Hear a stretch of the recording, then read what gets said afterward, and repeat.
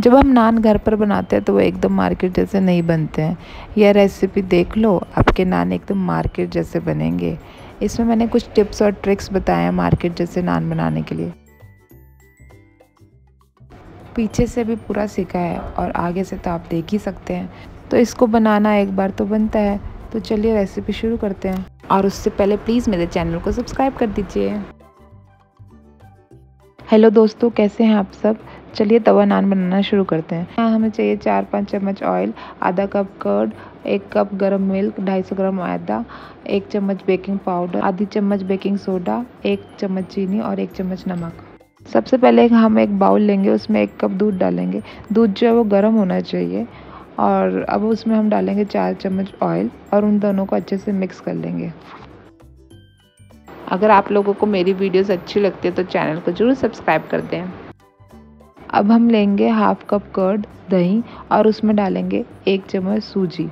सूजी जो वो क्रिस्पीनेस बढ़ाएगा नान की और जो दही है वो उससे नान में सॉफ्टनेस आएगी।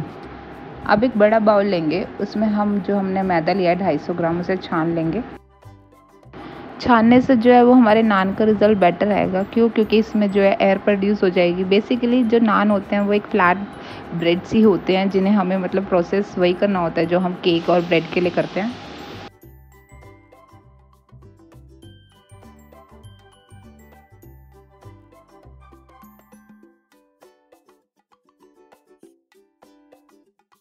अब बाकी की चीज़ें छान लेते हैं, नमक, मीठा सोडा, बेकिंग पाउडर और चीनी।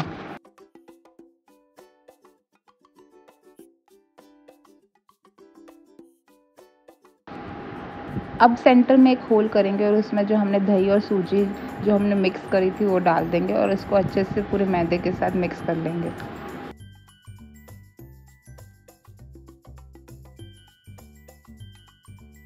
अब जो हमने मिल्क और ऑयल मिक्स किया था, उसको थोड़ा थोड़ा करके डालेंगे। एक साथ बिल्कुल भी नहीं डालना है और अच्छे से एक सॉफ्ट डो लगाना है। नान का आटा लगाते समय हमें दो बातें ध्यान रखनी है। एक तो उसमें थोड़ी खिंचावट होनी चाहिए, नान का आटा जब हम उसे स्ट्रेच करें तो अच्छे से स्ट्रेच हो जाए। और सेकंड थिंग जो आटा है वो एकदम सॉफ्ट होना चाहिए। हार्ड आटा हमें नहीं लगाना है। हमारा आटा कुछ ज़्यादा ही लूज़ हो गया तो अब हम इसमें क्या करेंगे? इसमें दो तीन चम्मच भर कर मैदा डाल देंगे। अब इसमें थोड़ा सा ऑयल लगाएँगे और आटे को अच्छे से गूंद देंगे ये देखो, आटा अपने आप ही लगने लग गया।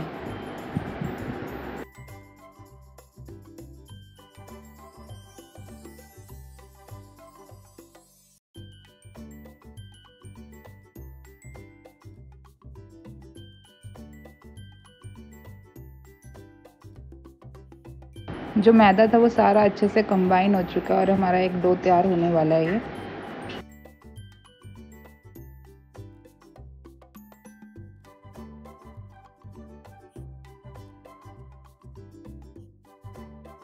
अब मैं ऑयल लगाकर बाउल की सारी साइड्स क्लीन कर लेती हूँ, क्योंकि अगर मम्मी ने ये वीडियो देख लिया और ये बर्तन गंदा हुआ तो बहुत बोलेगी। क्योंकि वो बोलते हैं कि लगना नहीं चाहिए कि हमने इस बर्तन में आटा गूना है, एकदम साफ़ होना चाहिए।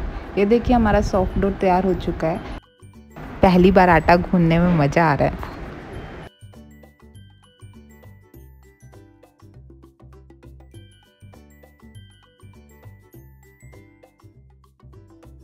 घर पर तवा नान बनाने के लिए नान का आटा लगाने की सही टेक्निक तो मैंने आपको बता दी। तो चलिए अब देखते हैं इसको फॉर्मेट कैसे करना है। अब थोड़ा सा ऑयल लगाकर इसको डैम्प क्लॉथ के साथ ढक कर रख देंगे। मैंने अवन को गर्म कर लिया था और उसमें अपना जो आटा लगाया वो एक घंटे के लिए रख दिया। इससे हमारा जो आटा है वो अच्छे से फॉर्मेट हो जाए। अब मैंने डो निकाल लिया है अवन में से। अब दिखाती हूँ मैं आपको हमारा आटा कैसे स्ट्रेच होता है। ये देखिए, कितना अच्छा स्ट्रेच आया आटे में। इस आटा से जो हमारे नान है, वो एकदम सॉफ्ट बनेंगे और एकदम मार्केट वाले बनेंगे। मैं क्या कर रही हूँ, अब इस आटा का थोड़ा सा ऑयल लगाकर एक बार और गूंद लेती हूँ। नान का आटा एकदम ऐसा होना चाहिए, जिसमें स्ट्रेंथ है ग्लूटेन है और स्ट्रेच है। तो चलिए, अब इस आटे से हम नान बनाना शुरू करते हैं। उससे पहले हम पानी में थोड़ा सा नमक मिला लेंगे। ऐसा हमने इसलिए किया है ताकि जो हमारा नान का बेस है, वो एकदम क्रिस्पी बने। मैंने डो से एक पेड़ा बनाया है और बाकी जो डो हमारा बचा था, उसको वेट क्लोथ से ढक कर रख दिया है। अब इसको अच्छे से सूखा आटा लगाकर बेल लेंगे और थोड़ी सी कलौजी लगा रही हूँ मैं इसके ऊपर। आप चाहे तो हरा धनिया भी लगा सकते हैं बट मेरा हरा धनिया ख़त्म हो चुका था। नान बनाते वक्त हमें नान को साइड से बेलना है सेंटर से नहीं बेलना, क्योंकि अगर हम सेंटर से बेलेंगे तो सेंटर में से तो जो हमारा आटा है वो पतला हो जाएगा और साइड्स में से हमारा जो नान है, वो मोटा रह जाएगा। नान का आटा जो है वो थोड़ा स्ट्रेच करता है तो इसलिए जो हमारा नान है वो हम बड़ा ही बनाएँगे। अब नान की बैक साइड पर हम थोड़ा सा जो हमने वाटर रेडी किया है, नमक के साथ, वो लगाएँगे। अब इसको उंगलियों से ऐसे प्रेस कर देंगे, जिससे हमारा जो नान है वो अच्छे से फूल जाएगा। अब इस नान को ट्रांसफ़र करते हैं सीधा गरम तवे पे। जो तवा है हमारा बिल्कुल हॉट होना चाहिए, एकदम गरम। जो पानी वाली साइड है नान की, मैंने सबसे पहले वो लगाई है तवे पर।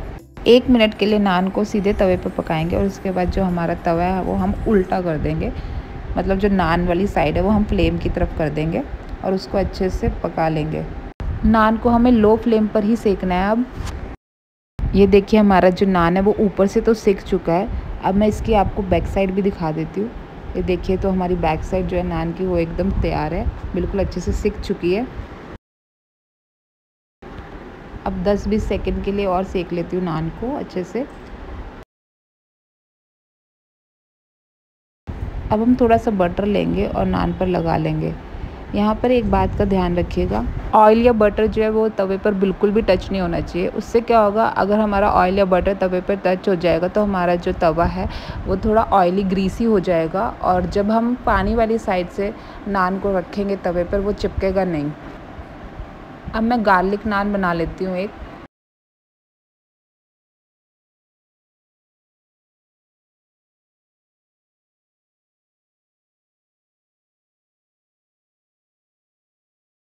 उसके लिए मैंने चॉप गार्लिक को मेल्टेड बटर के साथ मिक्स कर लिया है और अच्छे से उसे बेल लिया है। रोलिंग पिन और जो हमारा स्लैब है नीचे का वो पूरा ग्रीसी हो चुका है। इससे क्या हुआ, मेरा जो ये वाला नान था, उसके नीचे वाली साइड पर भी ऑयल लग चुका था बटर लग चुका था बट तो ये तवे पर नहीं चिपका था। तो उसके लिए अब हम क्या करेंगे? प्रोसेस वही है तो हम पहले अपना नान अच्छे से बेल लेंगे और उसके पीछे बैक साइड पे वाटर लगा देंगे। और फिंगर से नान के आटे को प्रेस कर देंगे। अब जिस साइड पर पानी लगाया था, उसी साइड से तवे पर रखेंगे। जब मैंने अपना तवा उल्टा करा था तो ये देखिए हमारा जो नान है, वो तवे से अलग हो गया था। तो अब क्या करेंगे, एक चम्मच भरकर हम पानी लगा देंगे। तो वो जो हमारा नान का आटा है, वो पानी से चिपक जाएगा और उल्टा करके हम अपना नान जो है, वो सेक लेंगे। मैंने वीडियो में आपको इसलिए दिखाई है ये मिस्टेक ताकि आप लोग ये मिस्टेक ना करें और आपके नान अच्छे बने। हमारे नान्स बनकर रेडी हैं और हमने साथ के साथ दाल मखनी भी रेडी कर ली थी। दाल मखनी का लिंक डिस्क्रिप्शन बॉक्स में दिया हुआ है। तो अगर आपका भी नान खाने का मन है तो एक बार ये रेसिपी ज़रूर ट्राई करें।